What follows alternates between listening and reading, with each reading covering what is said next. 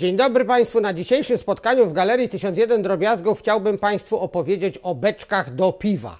E, z uwagi na to, że od wielu lat zajmuję się historią e, handlu, historią kupiectwa, no to mam parę przykładów beczek e, do piwa. Też się zastanawiałem, czy to są beczki piwne, ale w zasadzie są to beczki do piwa.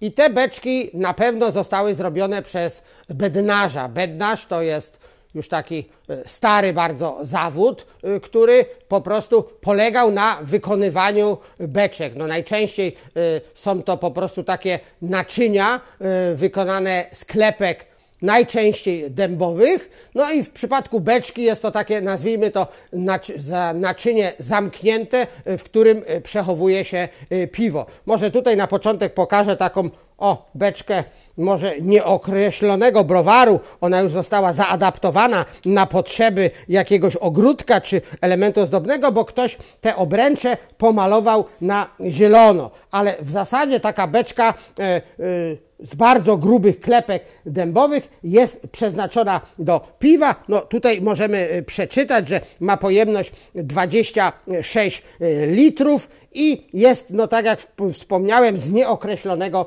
browaru. Oczywiście te browary bardzo często się dawały opisać i tutaj mamy y, piękną beczkę 25,5 litra z arcyksiążęcego browaru w Żywcu. Mamy tutaj opisany czas wykonania, mamy numer kolejny, proszę sobie wyobrazić, no z uwagi, że tu jest 45 331, no ile tych beczek musiało być, a ciągle powstawały nowe, a niektóre się zużywały. No tutaj jest na przykład taka beczka już w całości. Proszę zwrócić uwagę na bardzo dużą grubość tutaj tych klepek. To jest też arcyksiążęcy browar w żywcu, ponieważ to piwo, jakby to powiedzieć, jeszcze trochę w beczce pracowało i ciśnienie się wytwarzało. Belka, e, beczka musiała być bardzo, bardzo mm, wytrzymała. Oczywiście te dekle są różne. Tu mamy na przykład też bardzo ciekawy mm, dekiel od y, mm, beczki Stichau, czyli to jest piwo tyskie w okresie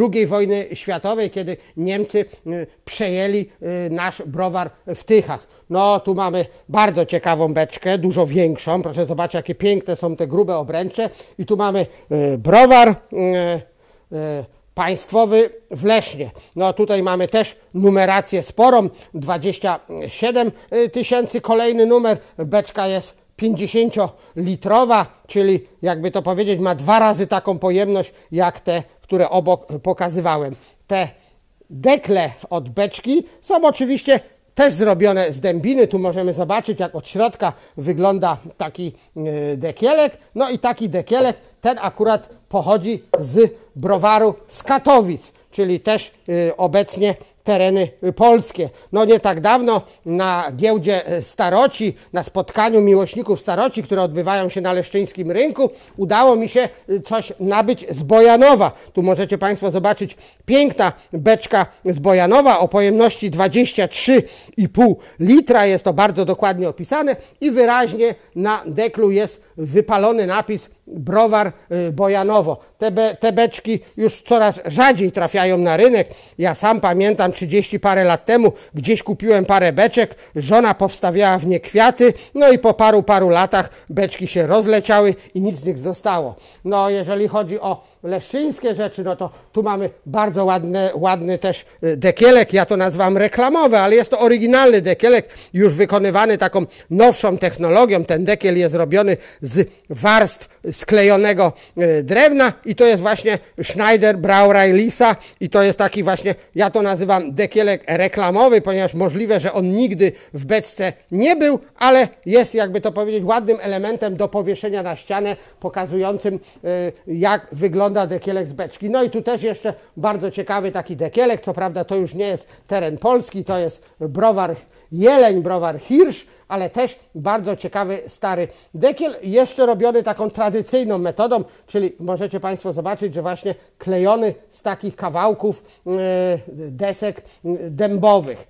No i Bednarz nie tylko robi beczki, wykonuje też różne e, przedmioty użytku e, publicznego. Tu proszę zobaczyć, nade mną jest taki szyld reklamowy firmy, która e, zajmowała się robieniem naczyń i tam są i faski, i dzierże, i wanienki, i zbiorniki, także można tutaj na tym szyldzie zobaczyć szereg przedmiotów, które wykonuje bednarz. No, są też ludzie, którzy chcą w ramach rozrywki, w ramach jakichś prac ręcznych coś samemu wykonać. Tu taka jest mała beczka wykonana samodzielnie przez jakiegoś y, y, majsterklepkę, y, który, który tu właśnie sobie taką beczkę zrobił. No szkoda, że jest tak polakierowana, ale jest to taki właśnie przykład takiego antałka domowego, gdzie można coś przechowywać. I zaraz obok proszę zwrócić uwagę na bardzo ciekawy kufel piwny. Jest to kufel piwny rezerwisty, czyli takiego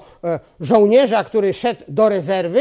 On ma tutaj różne takie napisy związane z wyjściem z wojska i proszę też zobaczyć, jest on zrobiony dokładnie technologią e, bednarską, czyli tak jak powinna beczka wyglądać. Oczywiście jest to bardziej cienkościenne. Zostało to zrobione, trudno mi powiedzieć, czy w jednostkowej ilości, ale jest to bardzo, bardzo ciekawy przykład drewnianego kufla do piwa, który wygląda z daleka jak beczka. No jak wspominałem o tych różnych naczyniach, no to tu już nie dębowa, ale taka sobie powiedzmy taki skopek, taka, taka mała faska do przechowywania jakichś e, mm, powiedzmy spożywczych towarów. Oczywiście kształt beczki jest wykorzystywany też w kupiectwie. No proszę zobaczyć, tu mamy na przykład reklamę w kształcie beczki wykonaną z fajansu i jest to hurtownia kolonialna z Poznania. Oczywiście ta ten kształt beczki jest na tyle charakterystyczny, że wykonuje się z tego różne przedmioty. Tu jeszcze możemy zobaczyć bardzo, bardzo ciekawy przykład. Zawsze się zastanawiam, czy to jest jakaś nagroda. Proszę zobaczyć, piękna szklana beczka, czyli nie dębowa, tylko wykonana ze szkła, ale szlify markują, że jest to normalna beczka. I to był taki też właśnie antałek na jakiś szlachetny trunek. Tu się oczywiście to wlewało. Tutaj w tej części był na pewno szpunt, czyli taki zawór, który się w beczce używa i myślę, że przy jakimś spotkaniu ja się zastanawiam, czy czasem nie szachistów, ponieważ ta dolna część wygląda jak szachownica. Może to była jakaś nagroda przechodnia. W każdym razie mam to już też wiele, wiele lat i tak się zastanawiam, że ktoś sobie bardzo, bardzo się napracował, żeby tego typu e, beczkę wykonać. No i jeszcze taka perełeczka w moich zbiorach.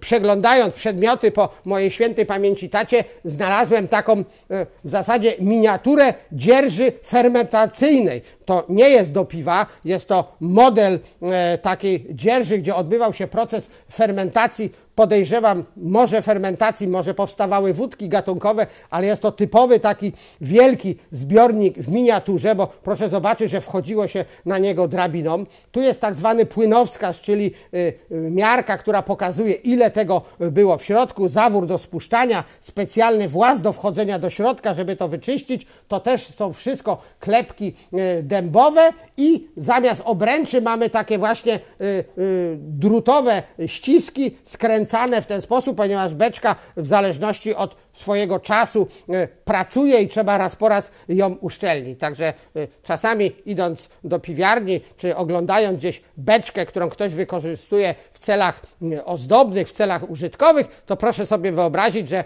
e, bednarz bardzo, bardzo się musi napracować, żeby taka prawdziwa beczka powstała. Obecnie nowe beczki robione dla przemysłu winiarskiego są bardzo, bardzo drogie, ale są robione tradycyjnymi, starymi metodami i muszę przyznać, że na YouTubie obejrzałem właśnie filmik, jak powstaje beczka i pomimo tego, że wydawało mi się, że dużo już wiem o beczkach, to wiele rzeczy dowiedziałem właśnie, jak powstaje beczka w takich małych warsztatach rzemieślniczych. Także dziękuję, że obejrzeliście Państwo program, który się nazywa Beczki do piwa. Dziękuję.